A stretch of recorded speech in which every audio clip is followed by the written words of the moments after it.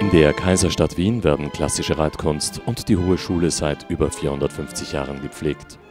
Heute gehört die spanische Hofreitschule zum immateriellen UNESCO-Weltkulturerbe. Zu sehen sind Quadrille, Pas de Deux, Arbeit an der Hand sowie die Schulen über der Erde in höchster Perfektion, für gewöhnlich in der barocken Winterreitschule in Wien. Nur selten gehen diese prachtvollen weißen Hengste auf Tournee.